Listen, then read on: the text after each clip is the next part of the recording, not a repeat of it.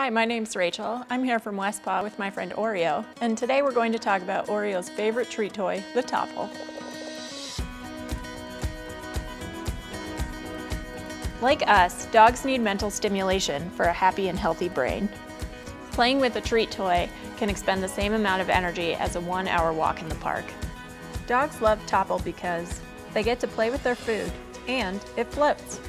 Dog's best friend loves Toppl because they can increase the challenge by putting two together, and it's safe. But what makes a dog toy safe? Woof is right. We check a lot of boxes to make sure it's certified safe before it's ready for play.